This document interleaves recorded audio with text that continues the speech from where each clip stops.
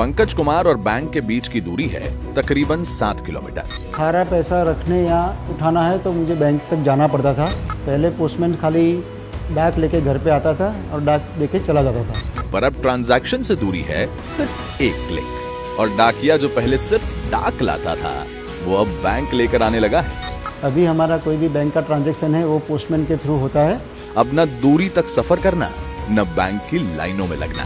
Bank की घर तक आने से हमको ये फ़ायदा हो कि हमारा समय बच रहा है। अब हम बैंक तक जाने की ज़रूरत नहीं पड़ रही है हमको।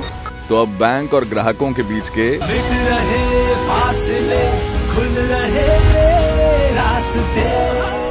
डिजिटल इंडिया चलो बनाए। New India